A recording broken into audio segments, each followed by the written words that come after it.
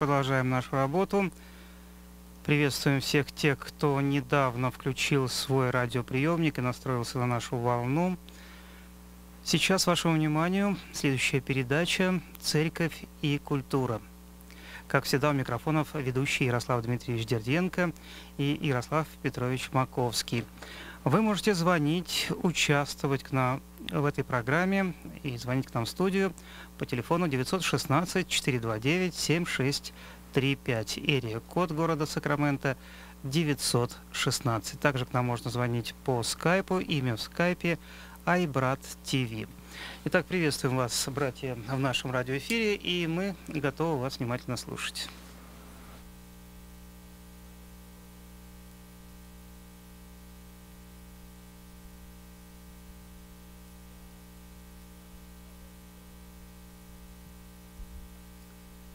Приветствуем вас, уважаемые радиослушатели.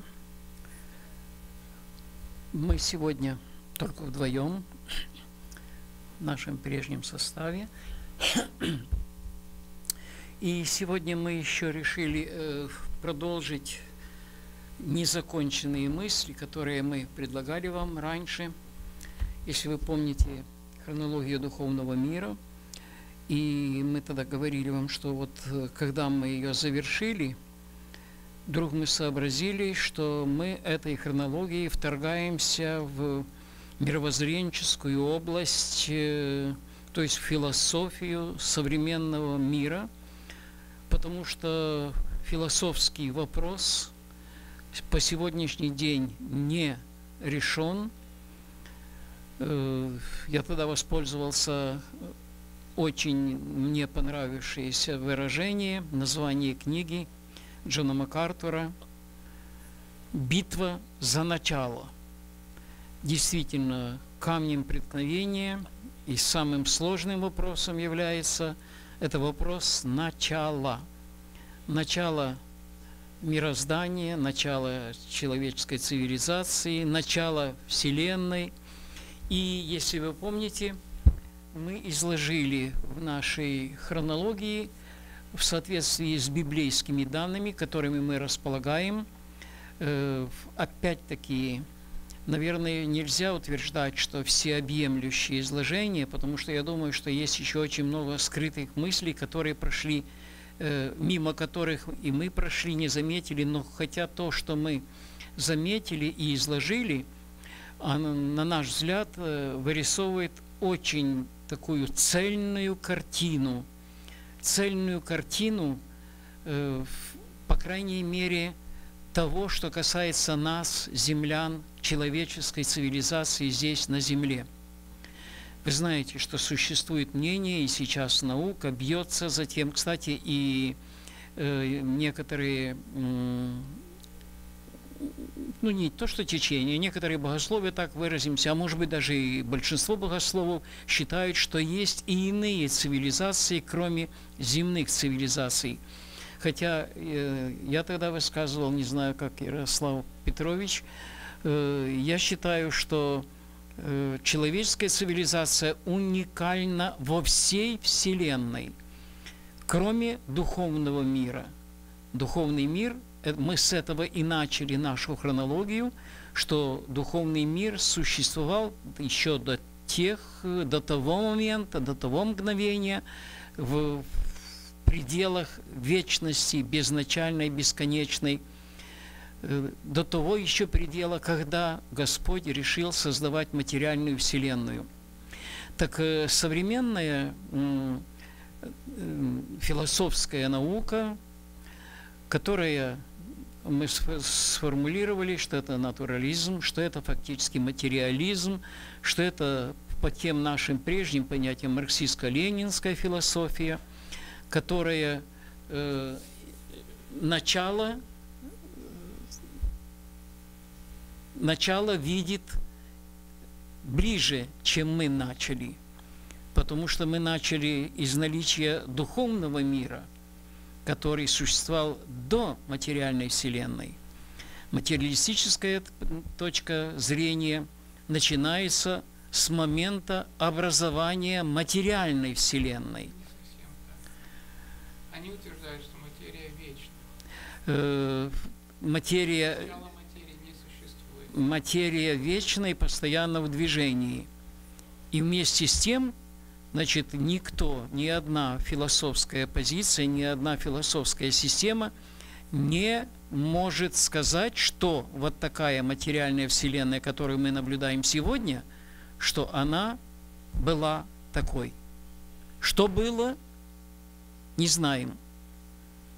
Для того,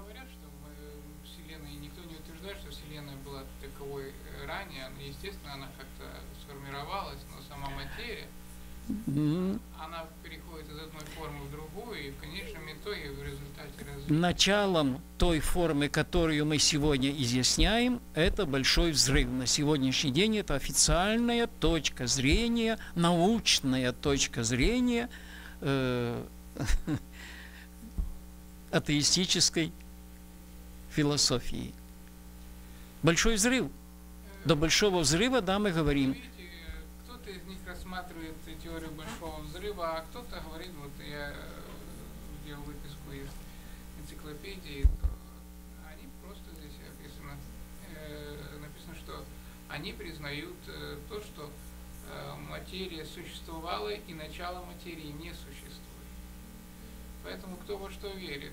А дух и интеллект это является продуктом этой самой материи. Результате борьбы противоположностей материя развивалась, развивалась, развивалась, ну и вот достигла до человека, дошла до человека, а в результате дальнейшего развития, что будет дальше, через много миллионов лет назад, наверное, еще больше. Еще более э, интеллектуальные существа, наверное. То есть появится духовный мир, да? Нет, материально-интеллектуально. Они же не, верят в Э. существуют, ну, подобно тому, как холодильник производит холод, точно так и материя производит, э, производит разум. И разум является продуктом материи. Ну, даже с этих позиций мы пытались сравнить в прошлый раз. Даже вот э, слушая э, атеиста Маковского Ярослава Петровича, так все-таки от имени Говорю, и их точку я говорю, это, это я шучу. Вот. Значит, э, мы утверждаем, не мы утверждаем, а э, у нас мы э, строим свои познания на э, фактическом источнике знания, потому что Библия э, от ее самого начала и по сегодняшний день является источником знания.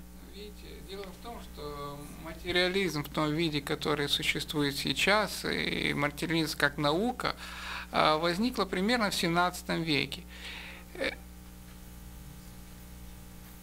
Это, конечно, это, э, об этом думали и раньше, но э, сформировалось, полноценно сформировалось примерно э, в 17 в 17 веке. Маркс и Энгельс ее довели. Ну, оформили, да, до, до философской до кондиции. философских кондиций, появился диалектический материализм и так далее. Но, э, тем не менее, ну, и ну, что, я- что я, я- хочу я- сказать, что Я хотел вставиться. Дело в том, что философы до нашей эры, ведь они тоже стояли фактически на материалистических э, позициях. видите, э, что я хотел, хочу подчеркнуть. Дело в том, что а, если философы э, древних времен, э, которые приходили к идее материализма, фактически были э, выходцы из э, м, э,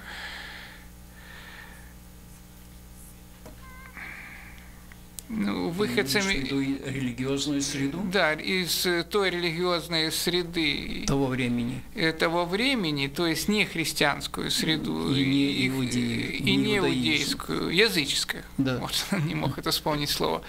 Это были и выходцы из языческой с- среды, которые э, фактически э, знания о Боге были полностью утеряны. И люди рассуждали о сущности бытия и приходили к разным идеям, и разные, мысли их постигали, и здесь их еще в чем-то понять можно. Но э, когда материализм сформировался как философия, он уже формировался в христианских странах людьми, которые прекрасно знали о Боге.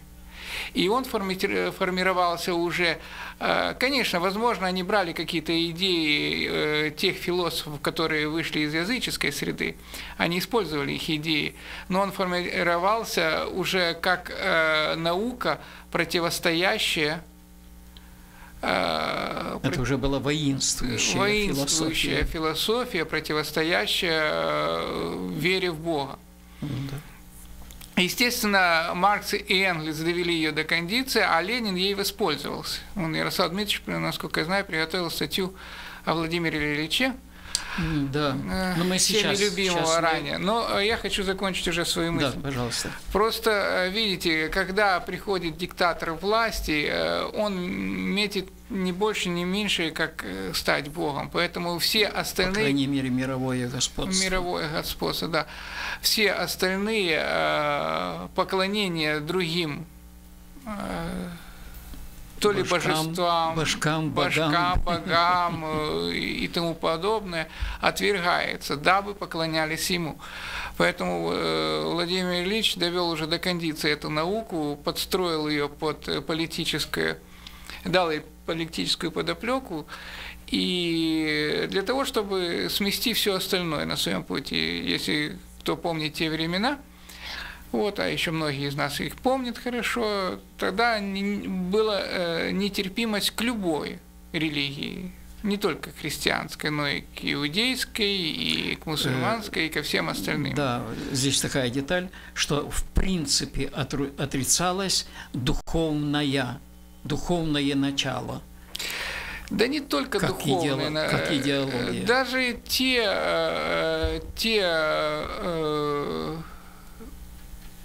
религии, те вероисповедания, которые в основе не имели э, такие, как языческие духовные начала, там, не, ну, там буддизм. Тоже, ну, тоже, тоже духовные, так сказать. Мало. Это же отражение э, духовного. Да.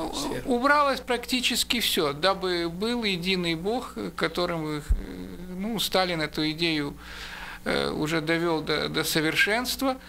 Э, ну, на сегодняшний день в мире это только Северная Корея осталась, которая э, проповедует единую религию, религию своего руководителя. Вот, и там он является и Богом, и Солнцем, и кем угодно. И они его прославляют всячески. Притом прославляют очень профессионально и красиво, нужно заметить. Ну, при коммунизме тоже было э, красиво. При коммунизме тоже было все красиво. Поэтому Э, материализм стал основой для всего лишь основой, научной основой, лучше сказать, наверное, псевдонаучной основой для отвержения, для уничтожения всякой, всякой мысли о существовании Бога, о всякой мысли существования какого-либо какого-либо Бога. Да, даже языческих материализм не терпит даже языческих богов. Вот. А когда нет Бога, тогда, естественно, э, когда нет идеала у людей, а люди не, не могут жить без идеала. Как правило, человек пользуется общественным умом и общественным идеалом. Вот. Тут же э, отвержение всего и подстановка другого идеала в виде Ленина, в виде Сталина, в виде Ким Чен Ира на сегодняшний день в Северной Корее и тому подобное. Все мы это знаем, все мы через это, большинство из нас через это прошли. И тем не менее, э, тем не менее, опять же, все это временно, я думаю, что э, видите, материализм в чистом виде, в том, котором он был еще 50 лет назад, практически перестает существовать на данный момент, потому что он не испытанный, потому что не под, ну, как бы. Ну, нельзя сказать, что он перестает существовать. Наоборот, он, он меняет форму. Он сегодня, почему мы, собственно, затеяли э, вот это сравнение, он к не... сожалению, он сегодня находит, как говорится, подтверждение, научные, в кавычках, конечно, научное подтверждение, и сегодня официальная позиция э, так называемой истинной науки, чистой науки – зиждется на, на материальной, на, материаль, на материализме. Ну, я бы не сказал, что на чистом материализме. Э, а видите как, э, не, сейчас нет такого огульного отрицания высшего разума, нет отрицания Бога, но э, Это в вопросе... Только, это только вопрос толерантности. Все учебные заведения, все светские учебные заведения, что сегодня нас, собственно, пугает, что все светские учебные заведения стоят на позиции оголтелого материализма. Вот что страшно. Они не столько на, материали... э, на пути материализма стоят, сколько стоят на пути э, дарвинизма. Ну так это же и есть материализм. Это, Ну, не говорится, совсем. Видите, материализм полностью отрицает э, единоначалие э, всемогущества Бога и духовную сущность. Дарвинизм, они не, не настолько сейчас огульно отрицают существование Бога, как развитие, развитие человека, откуда взялся человек. Нет, это ветвь. Это ветвь, которая якобы якобы каким-то образом хотя бы, хотя бы как-то объясняет, откуда и как появился человек. Потому что э, научных знаний других нет. А дарвинизм э, целиком – это основа. Почему мы сегодня говорим? Сегодня в, любой э, ну, государственной школе, причем что в Европе, что здесь в Америке, ну, кроме, наверное, исламских стран, где ислам, вот, там все-таки, там э, Ну, там не материализм. там, я же говорю, там идеализм в, своем, э, в своей форме. Вот. А здесь почему мы говорим, что сегодня э, есть смысл ну, для нас? Потому что наши дети, наши внуки, наши, наше поколение, которое знает цену материализма, вот как ты напомнил, цену материализма на практике, сегодня детей учат этому материализму, и он вывернется. Почему мы вот сегодня захотели еще раз э, возвратиться к этому? Потому что он не может, у него нет другой основы. Он вывернется э, тем, э, той формой материализма, которая фактически является скрытой формой религии, то есть культ личности. Ну, естественно, что материализм это и есть религия.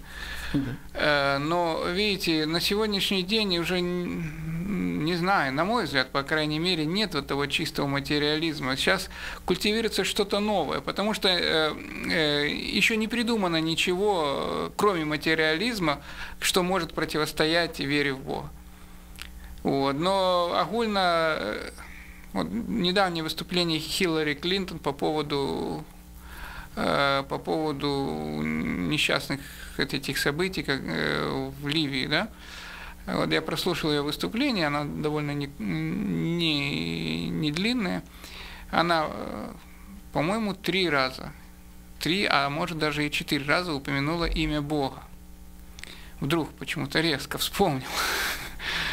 Вот. Хотя, насколько мы знаем, нынешнее руководство Соединенных Штатов о Боге вспоминает очень редко. Вот. Но тем не менее. Э, Фальшивый какой-то материализм сегодня. У, Но- нас, у нас он был как-то почище, пожестче. Да, но, но что, почему, скажем, меня этот вопрос как-то затрагивает? Потому что количество э, м, людей, которые себя идентифицируют как атеистов, в Америке растет. И э, я думаю, что не, перво, не второстепенные, не третьестепенные, э, так сказать, положения занимают общественные школы которые зиждятся вот на- именно на натуралистической позиции, на э, марксистской, марксистской не употребляется, а употребляется чисто материализм. Вот, кстати, и материализм в том плане, как мы привыкли, тоже как-то не, не очень фигурирует, э, скажем, в- сейчас в нашем быту. Вот. Но в принципе это тот же самый материализм, которому, которому придается основное значение и, наверное, э, отрицание, скажем, э, религии, отрицание Бога я думаю, что это не только из-за христианства, а в принципе школа отделена от, э, от религии, религия от школы, от государства, так как школа государственная, то там запрещают даже в любой форме проявления религиозных. Вот э, в том-то, на мой взгляд, в этом и существенная разница между материализмом, который был у нас, и материализмом, который э, здесь, здесь, в Америке. Э, у нас материализм использовался для э, создания культа личностей. Да. Здесь культа личности нет, и пока, да. слава богу, не предвидится. Не знаю, как дальше, но пока не предвидится. Здесь матери... материализм используется как некая форма, э, как некая форма смирения всех религиозных течений всех религиозных конфессий. Потому что в школе собираются ученики, некоторые, сейчас же много исламистов сюда приехало, некоторые с ислама, э, исламистского понятия, индуисты, и, индуисты, конфуциане, христиане различных течений, которые японцы, да. которые не мирятся между собой. Поэтому чем проще иметь что-то одно. А вот э, материализм, он э, такая наука, как нынешний материализм, американский материализм, он такая наука, которая не дает развиваться, не дает войти в школу ни одному из этих течений. Потому что если какое-то течение начнет доминировать в школе, то, естественно, проявится конфронтация. А материализм противен всем. И в то же время он всем и Все, все на нем остановились. Все, все на нем остановились, дабы не выпустить школу как, при какое-либо э, преимущество, не дать школе преимущество какой-либо, э, какому-либо религиозному течению. Поэтому, на мой взгляд, все-таки американский материализм, материализм, хотя он и существует, сносный. Он, он, э, он сносный, и он э, как форма защиты, межконфессиональной защиты внутри школы. Так, пожалуйста, кто-то нас хочет поправить или дополнить. Пожалуйста. Приветствую, милые Ярослав Дмитриевич, Ярослав Петрович, это Лия, благослови вас Бог. Философ Лия Михайловна. Да, просто Лия.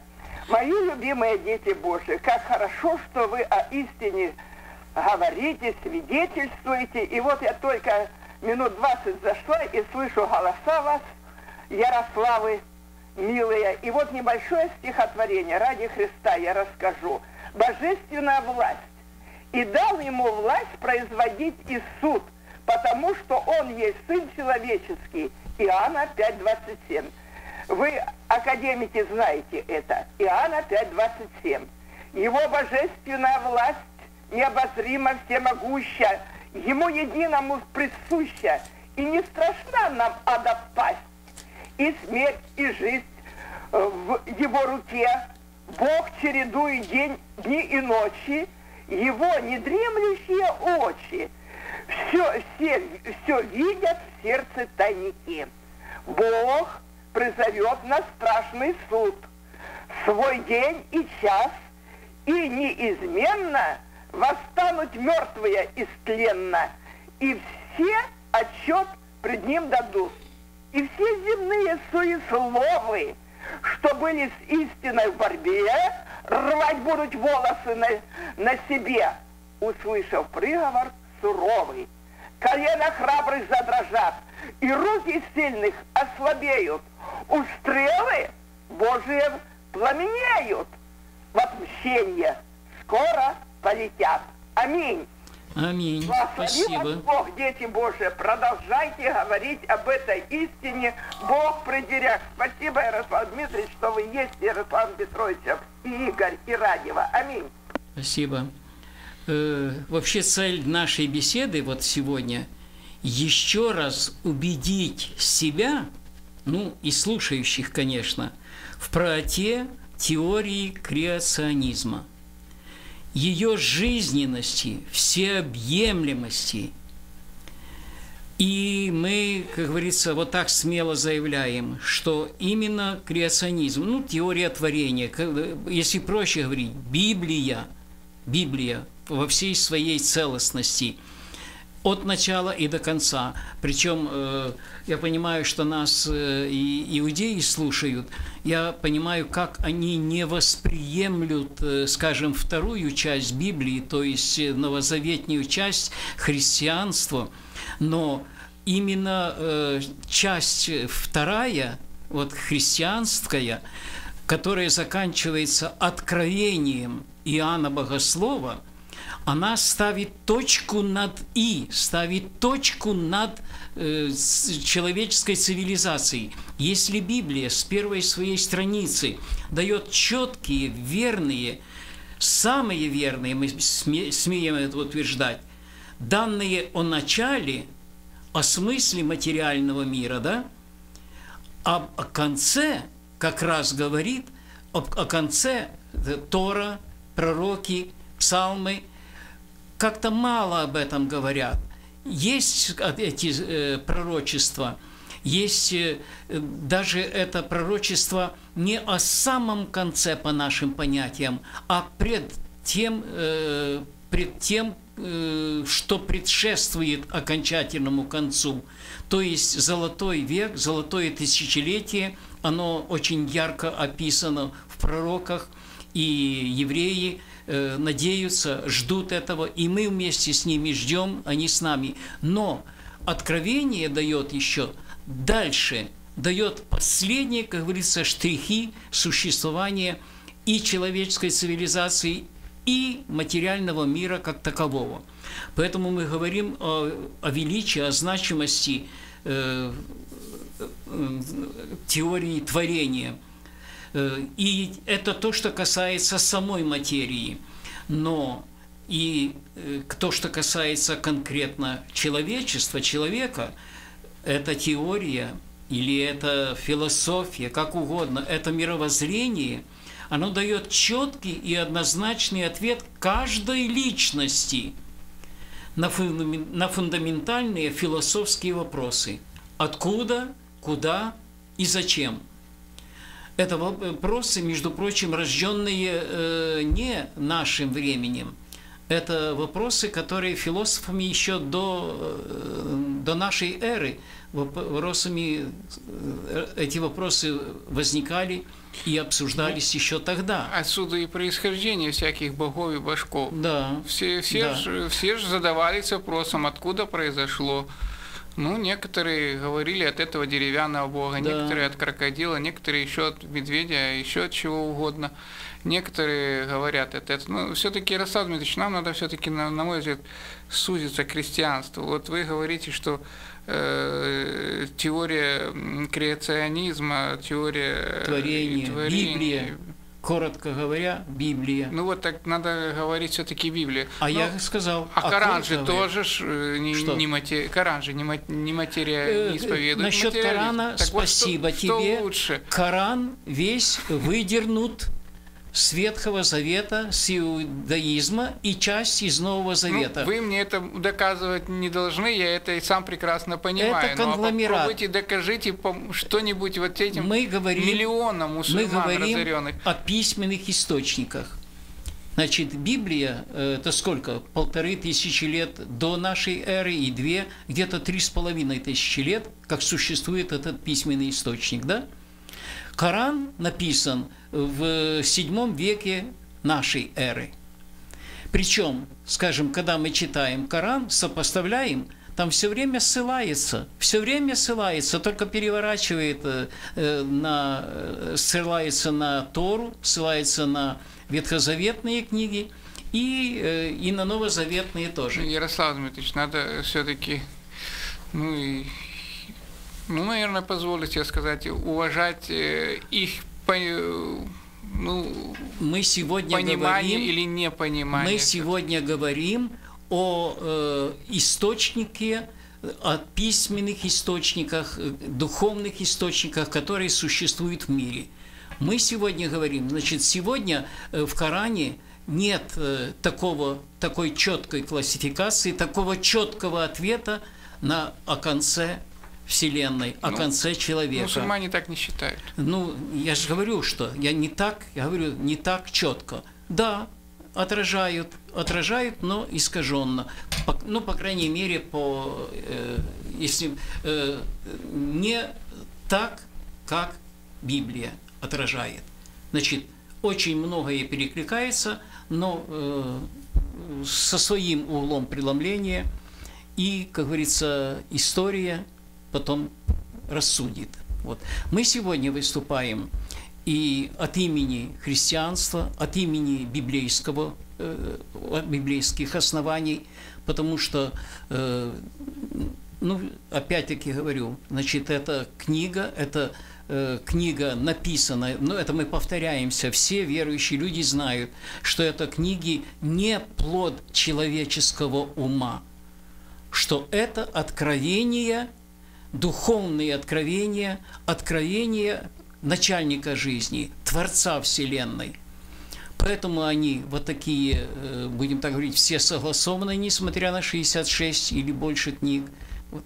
И несмотря на то, что столько авторов, сколько там авторов, я уже не помню, писали ее, и во времени, сколько времени она писалась. Вот. Поэтому сопоставление этих э, концепций, почему э, мы настаиваем? Потому что мы верим в истинность этого – и мы хотели бы, чтобы любой человек, который занимается этим вопросом, чтобы он хорошо взвесил для себя. Ошибиться в этом вопросе страшнее нельзя придумать ничего. Страшнее нельзя ничего себе придумать. Э, сегодня, э, э, это мы уже немножко говорили об этом, так? мы сегодня опять в апологетику немножко так возвратились, но я хотел основной побудительной причиной сегодняшнего разговора я хотел использовать материал, который сегодня он нейтрален. Сегодня нас никто не осудит, потому что это уже общепризнано прожитыми, проживающими и доживающим поколением – скоро уже не останется э, личных свидетельств того, что, через что прошло э, человечество. Э, наша газета, Сакраменская газета «Диаспора», 19 августа 2012 года. Обвиняемый Ленин. Вот такая статья – Краеугольным камнем ленинизма является возбуждение социальной розни и пропаганда неполноценности людей по признаку их социальной принадлежности. Ленинизм есть идеология допустимости использования крайних мер для получения желаемого эффекта, аморальный принцип. Цель оправдывает средства. Ну, наверное, опять-таки старшее поколение очень хорошо знакомо с этой формулой, что цель оправдывает средства – Э, доктор исторических наук Владимир Лавров, используя директивы самого Ленина, опубликованные в различных официальных изданиях, представляет доказательства преступлений против человечности, не имеющих срока давности. Э, мы не это имеем в виду. Э, мы не собираемся выступать судьями, вот, но просто Э, почему, скажем, я вижу смысл вот сегодня это прочесть, потому что при всей красивости, при всей, казалось бы, доказательности философии материализма, почему-то практика ее вот очень уж, очень уж аморальна. Так вот, э, мы воспитаны, так сказать, на вершине этой философии, а основанием этой вершины был вот любимый нами с детства, при котором мы жили, перед которым мы преклонялись, перед которым сегодня еще преклоняются. Э, я только отдельные, э, здесь много документов, отдельные документы, касающиеся именно, которые показывают э, вот такую очень, очень неблагопристойную э, сторону, тыльную сторону, скрытую сторону самой философии, потому что философия определяет э, практику. Такое выражение, что очень удобно для борьбы сверху, там бомбы, там камни, там все прочее и так далее. Или кислот для обливания полицейских. Религия – опум и сивуха. Религия есть один из видов духовного гнета. Религия есть опиум народа. Религия – род духовной сивухи, в которой рабы капитализма топят свой человеческий образ. Наверное, мы хорошо помним эту формулировку. Э, Бог есть труположство, такое заявление – всякий боженька есть труположество, всякая религиозная идея, всякая идея о всяком боженьке, всякое кокетничание с боженькой есть невыразимейшая мерзость, самая опасная мерзость, самая гнусная зараза. Ваш Владимир Ильич.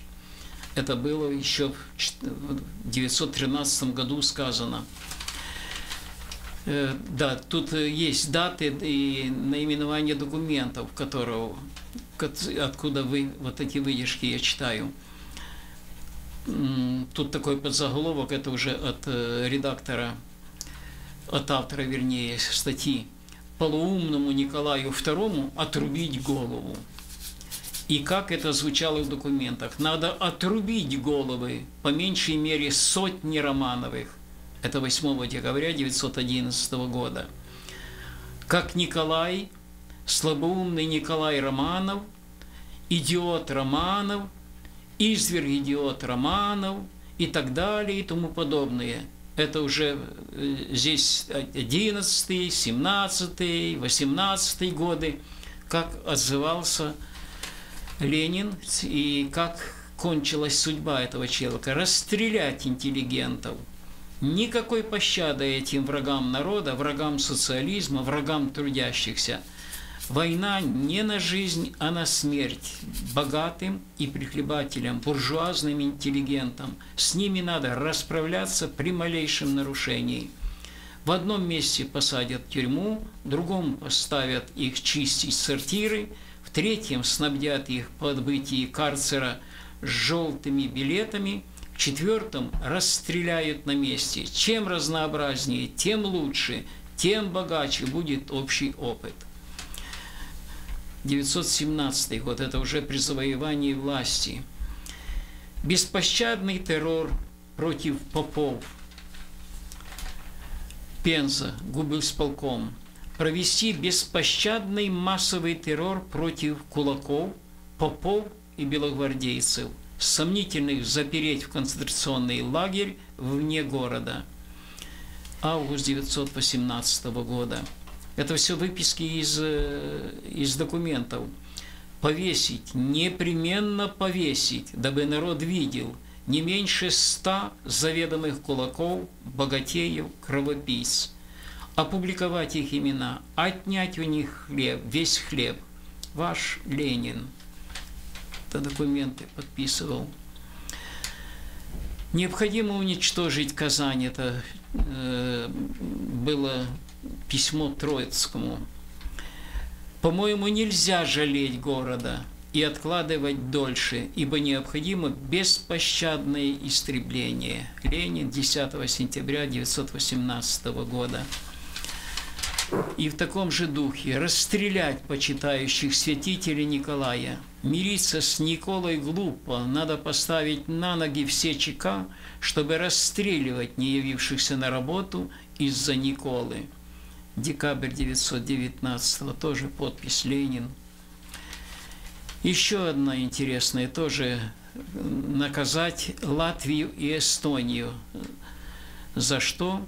Принять военные меры, то есть постараться наказать Латвию и Исландию – военным образом. Например, на плечах Балаховича перейти где-либо границу на одну версту и повесить там сто тысячу их чиновников и богачей. Такие методы. Ленин, 920 год. Перевешаем попов. Прекрасный план. Доканчивайте его вместе с Дзержинским. Под видом зеленых, мы потом на них и свалим – Пройдем на 10-20 верст и перевешиваем кулаков, попов, помещиков. Премии 100 тысяч рублей за повешенного. Ленин, 1920 год. Библию на макулатуру. Из числа книг, пускаемых в свободную продажу в Москве, изъять порнографию и книги духовного содержания, отдав их в главбум на бумагу. Я не все подряд читал, я читал то, что касается религии, то, что касается интеллигенции, то, что вообще касается образа поведения самой прогрессивной материалистической философии нашего уже прошлого века. Но это наше поколение прожило. И что страшно, что э, меняются формы материалистического мировоззрения, меняются формы, но методы не меняются. Вот что страшно. Не меняются методы. И если мы вспомним историю, которая была, наверное, от, нужно начинать от самого Каина, да? Вся история, начиная от Каина, брата-убийца, и по сегодняшний день, к сожалению, по сегодняшний день, дорогие друзья, почему страшно? Страшно э, господство э, тайное, прикрытое этой материалистической философии, материалистического мировоззрения. Потому что фасад, э, как вы понимаете, фасад э, приукрашен, фасад облагорожен – но если говорить по, э, так основательно, то мы понимаем, что фактически фасад, как это ни, ни странно, выставляется библейский, потому что э, нравственно этика, поведение человека, человечества фактически наиболее детально, наиболее последовательно и обоснованно изложено в иудео-христианской э, нравственности – и вся материалистическая философия, материалистическая теория, атеизм фактически оперирует этими нравственными категориями. И спрашивается, почему?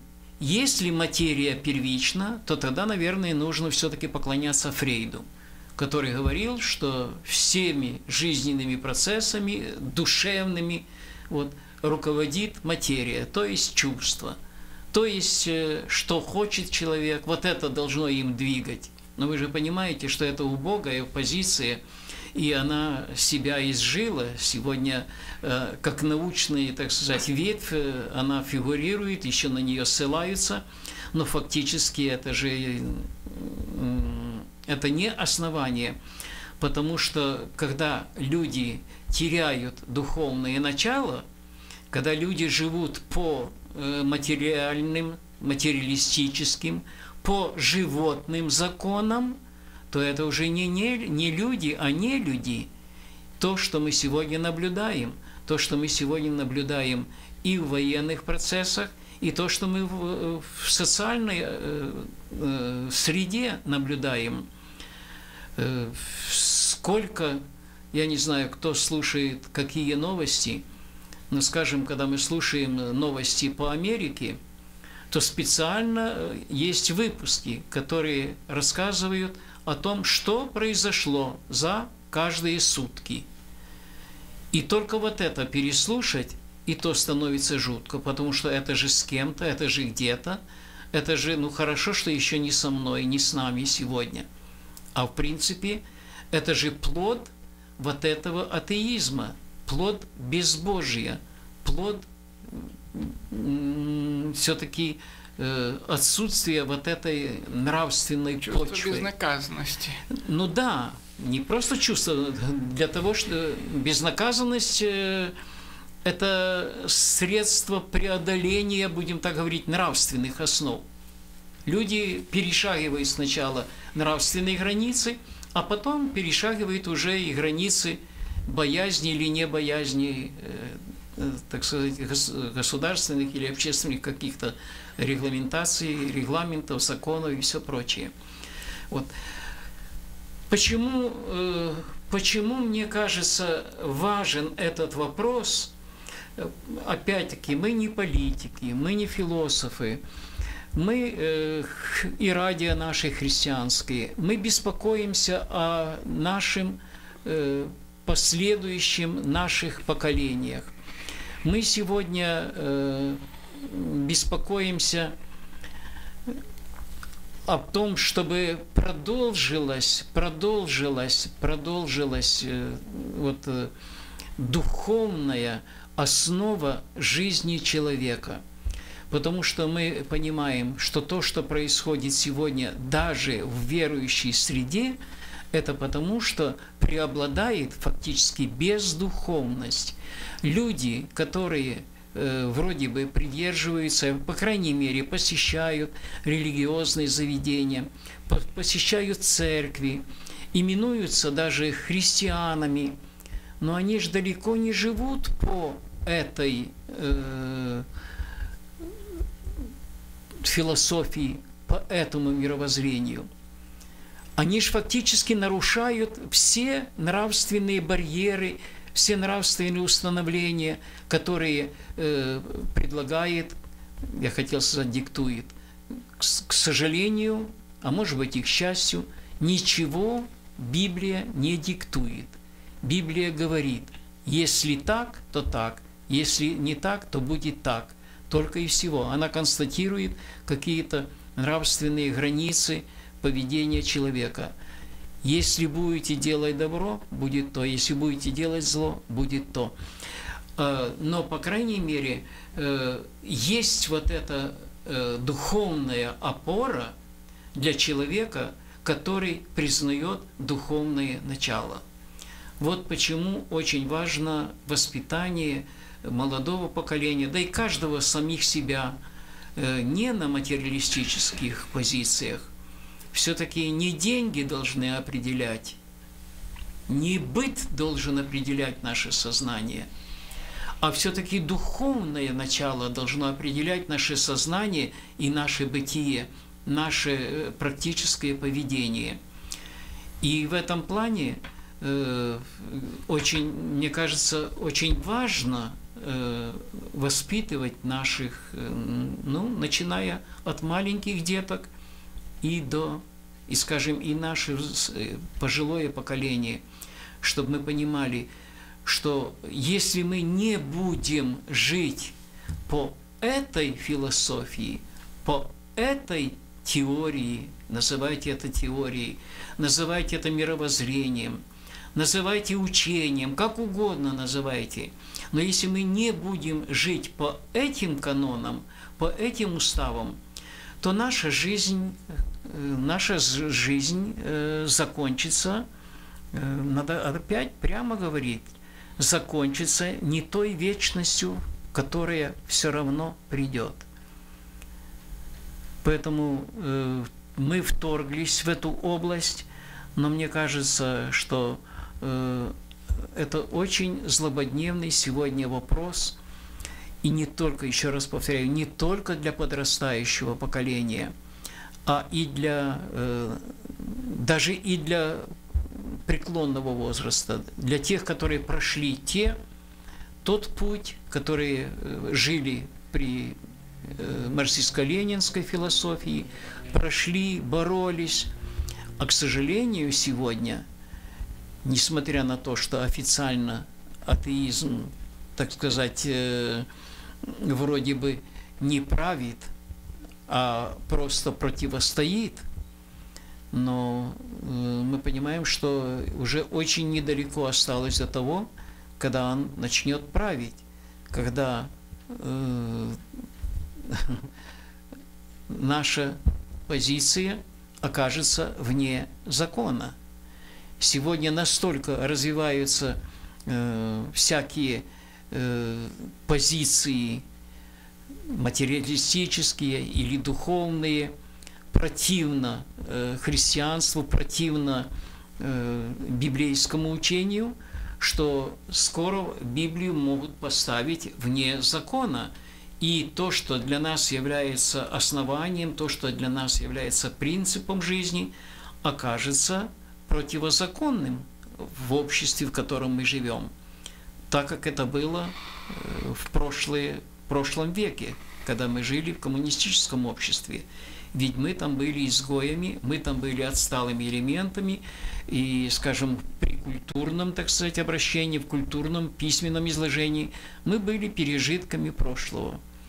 И нам отводилось единственное, что мы постепенно вымрем и исчезнем, что, кстати, декларировали, вот, что к какому-то 1980 году вот должен был показан по телевизору, уже телевизор тогда был, последний баптист в великой такой державе, как Союз Советских Социалистических Республик. Слава Богу, это не произошло. Кстати, э, это тоже интересный вопрос при этом сопоставлении. Дело в том, что начался какой-то период в человечестве, когда э, в, так в видимом, э, в видимом э, измерении показалось, что духовное начало взяло верх что вроде бы люди больше стали обращать внимание на духовность человека, на духовный мир – что существует. Люди начинают верить в духовный мир, как-то по-своему его трактуют, называют это чем-то высшим, чем-то космическим, чем-то чем вне, э, скажем, э, внеземном. Вот, э, фактически апеллируют к духовному миру. Вот, а духовный мир – это все-таки не материализм.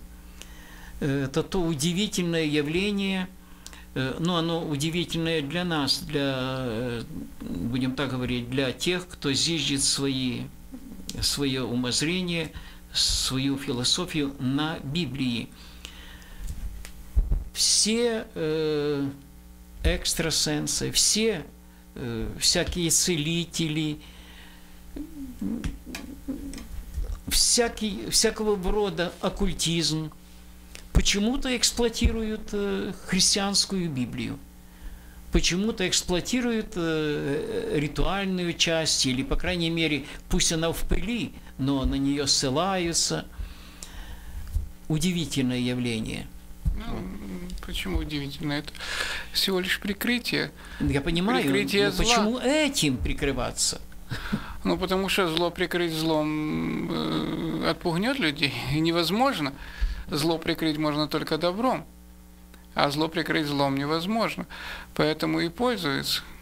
Но видите, э, понятия то разные, и э, одно дело прикрыть зло, или придать ему какую-то форму, или придать ему э, какую-то направленность, а другое дело – это изъять зло, в том-то и главное отличие – настоящего христианства. Это когда зло не живет в сердце человека. И это основной принцип. Если взять э, ту же самую веру в ислам и религиозную, там, видите, эта религия, она не изымает зло изнутри человека, она его просто перенаправляет от своих к чужим, даже между своими – иногда они выплескивают зло друг на друга только из-за того, что по-разному понимают. Хотя у псевдохристианства пользуются теми же самыми принципами. Да. Это э, прикрытие зла или перенаправление зла, которое внутри, но не изъятие зла изнутри. Поэтому, когда говорят христиане подрались или христиане ведут войну, это не христиане, это псевдохристиане, потому что христианин – по определению зла внутри не имеет. Это рожденный свыше человек, который зла внутри не имеет. И ни в какую сторону это зло выплеснуться не может. Псевдохристианство это, это э, люди, которые псевдохристиане, которые имеют зло внутри, но они его или вуалируют, э, прикрываясь э, какими-то идеалами, идеал защиты Отечества, идеал еще. Кто-то нам хочет помочь. Да, пожалуйста. Пожалуйста. Добрый вечер, братья. Добрый вечер. А, я еду по Америке, уже на середине Америки, слушаю вашу передачу от начала и много передач уже слышал, правда, не подряд, но тем не менее. Сегодня прозвучала вот сейчас последние ваши фразы о том, что а, многие экстрасенсы, маги и так далее колдуны прикрываются Библией и так далее. Мой вопрос к вам. А, если вы можете прояснить или, скажем, высказать свое мнение. А, вот последнее время христианство пользуется таким словом, как бы присуждая ученую степень там э, руководителям и так далее, или те, которые закончили какие-то библейские заведения, э, учебные институты, университеты и так далее. Вот это слово магистр, но вот оно как-то режет мое ухо, потому что здесь корень-то один, вы понимаете? И Пугачева когда-то воспевала о каком-то маге и так далее, и эти все дела, ну, пожалуйста, разъясните мне, объясните, чтобы или успокойте мою душу, или как-то проведите такую разъяснительную работу с этими э, великими нашими духовными лидерами, чтобы ну, не заимствовали вот это слово. Разве нет библейских вещей таких? Это уже и колпаки натянули, и мантии черные и так далее. Прямо, ну, чуть ли не... Все, спасибо большое. Ну и вам спасибо. Вы интересный вопрос затронули э, это, как говорится, ну все равно надо заглянуть э, в словари, что первично – или маг, или магистр. Вот. Дело в том, что магистр э, э, это не то, оно используется не только в учебных заведениях, а и в социальной обстановке, насколько мне помнится, магистратура, это было управление городов, вот э, что такое. Значит, разрешите, мы немножко поковыряемся в словарях, а вообще очень интересное замечание, что первично, да, или магия – черное ли, белое ли. И если это так, то тогда, конечно, очень жалко наших магистров богословия, правда? Ну, если не, не докапываться до сути слова, то это обозначение ученой степени. Нет, а слово, конечно, режет слух очень сильно. Ну и все же, я, э, опять же, не берусь утверждать, надо посмотреть словарь, но все-таки мне кажется, что э, магия возникла раньше, чем... Ну, я тоже боюсь, что чем раньше. это слово. Так я тоже этого боюсь, вот, но просто я... страшно утверждать. Думаю, что не стоит. Э, попутно, наше время вообще истекло. Но я сейчас опять больной вопрос затрону. Значит, как-то я тоже на неприятности, ну, нарвался, как мы говорим в русском языке, вот когда я высказал свое неприятие слова в христианстве лидерство. По-моему, это из, э, не из Библии выражение – потому что... Э, Это понятие не библейское вообще. Не библейское понятие, и, соответственно, э, смысл этого слова в мире и в социологии, будем так говорить, совершенно иное отличается от того, что должно быть, что должно быть в христианстве. Ведь... Служение. Не только лидерство, но Э, если коснуться слова лидерство, а лидер, оно в христианстве появилось сравнительно недавно. Да, да. И появилось э, именно тогда, когда образовались новые течения, э, которых лидерство ставилось на первое место, то есть власть над всеми, и под лидерством именно это и подразумевается, власть над Э, ну, мы сейчас оскорбим, оскорбим всех наших братьев, потому что, по-моему, оно настолько широко сейчас эксплуатируется. Я не собираюсь оскорблять, но пусть братья позадумываются, кто употребляет это, э, это слово. Я еще раз вредничаю на прощание. Это то же самое, что слово, я его не люблю, но один раз скажу, секс.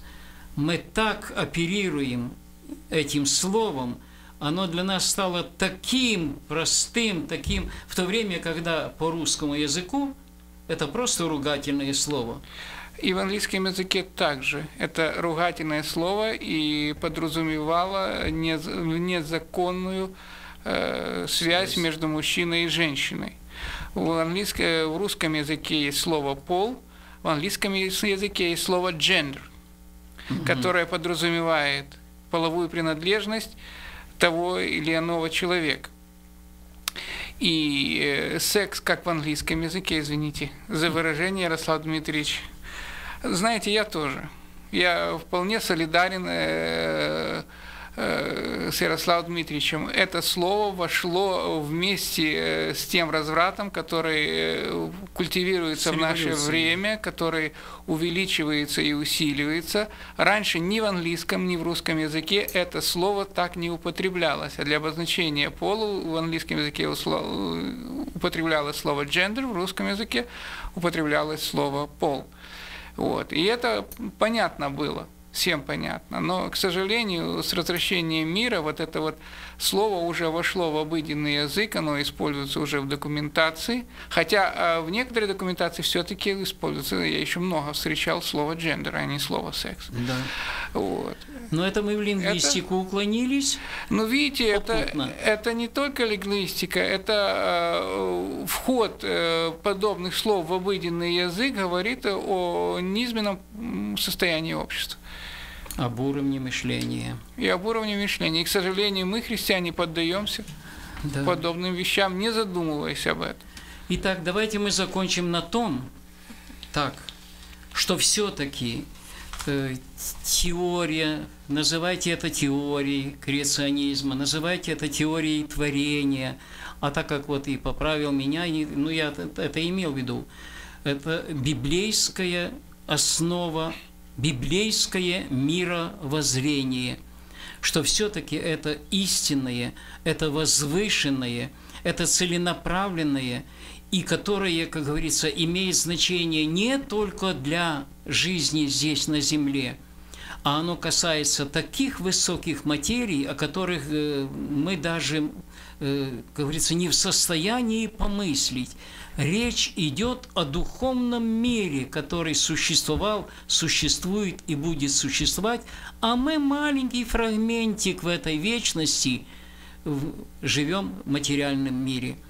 И мы, такие вот материальные существа, фактически мы бы не представляли себе интереса ни для самих себя, ни для Земли, если бы мы были только продуктом материи. Но так как мы все-таки духовные существа, поэтому нас интересует духовный мир до материальный и духовный мир после материальный. То есть это действительно очень глубокая, серьезная философия, очень определяющее такое мировоззрение, и каждый уважающий себя, хотя бы просто умный человек, должен очень серьезно к этому относиться, по крайней мере, хотя бы задуматься. Мы желаем держаться, потому что, э, опять, чисто практическое измышление. Когда-то я так доказывал себе, ну хорошо, хорошо, если нет Бога, а вдруг Он есть? Вы представляете себе? А вдруг на самом деле Он есть? Что теряет человек, который живет по принципам Бога? Ничего. Он живет не хуже, он живет честно, он живет правильно, он живет красиво, насколько, скажем, Бог позволяет там обстановку, потому что материальная среда, она разнится, э, очень разнится. Но, скажем, вот мы сегодня живем в таких благоприятных условиях, что действительно мы должны жить постоянно, ежедневно, ежечасной хвалой и благодарностью нашему Богу. Желаю вам такого же, такого же хорошего настроения и благодарности за свою личную жизнь, какой бы она трудной вам сегодня ни казалась. Но это действительно еще милость Божья, благодарение Ему за все. Оставайтесь с Господом. С Богом.